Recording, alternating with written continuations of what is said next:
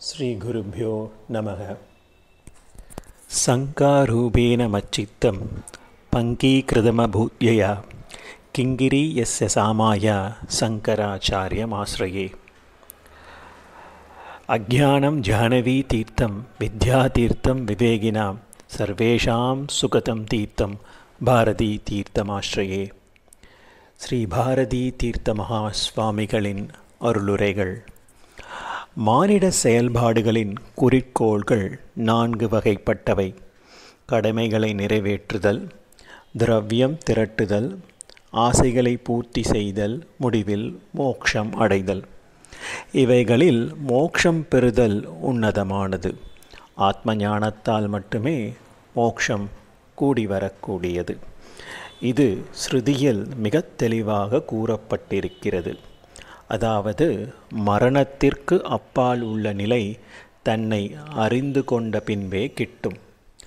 ஆத்ம ஞானமான தன்னை அறிந்து கொள்வது ஒரு குருவினிடம் இருந்துதான் பெறக்கூடும். தனக்கென்று ஒரு குரு உள்ளவன்தான் உண்மையிலேயே மனிதன் என்றும் ஸ்ருதியில் கூறப்படுகிறது. குரு என்பவர் யார்? என்ற கேள்வி தோன்றுகிறது. அதாவது குரு என்பவர் எல்லா தர்மங்களையும் கரைத்து குடித்தவரும் தன் சீடனின் நல்வாழ்வில் ஈடுபட்டவருமாவர் என்ற பதில் கிடைக்கிறது. ஒரு குருவின் இந்த குணம் ஸ்ரீ சங்கர பகவத் பாதாரிடம் முழுமையாக காணப்பட்டிருந்தது. அவருக்கு எல்லா சாஸ்திரங்களின் மறைந்துள்ள தத்துவங்களும் தெரியும்.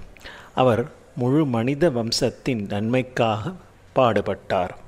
அநேக நூற்றாண்டுகள் கழிந்த பின்பும் அவர் அருளிய உரைகள் வேதங்களுக்கு வழிகாட்டும் விளக்காக பிரகாசிக்கின்றன.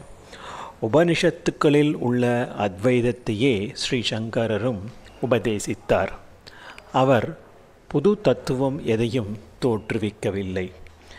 இந்த தத்துவம் ஸ்ரீ கிருஷ்ணரால் பகவத்கீதையிலும் வேதவியாசரால் பிரம்மசூத்திரத்திலும் வெளிப்படுத்தப்பட்ட அத்வைத தத்துவமே என்பது அறிஞர்களின் ஒருமித்த கருத்து. ஆகவே வித்வஸ்வரூபியும் பிரேமசாகரமுமான ஸ்ரீ பகவத் பாதாரிடம் ஜன்மதினத்தை நாம் எல்லோரும் கொண்டாட வேண்டும். நம் வாழ்வை நாடுபவர் நிச்சயம் இம்மாதிரி ஆத்ம ஞானிகளை பூஜிக்க வேண்டும் என ஸ்ருதி கூறுகிறது. ஸ்ரீ சங்கர பகவத் பாதாரின் அனுகிரகம் எல்லா ஆஸ்திகர்களுக்கும் கிடைக்கட்டும். முயற்சி செய்கிறவர்களுக்கு மோட்சம் கிடைக்கட்டும். ஸ்ரீ குருப்பியோ நமக.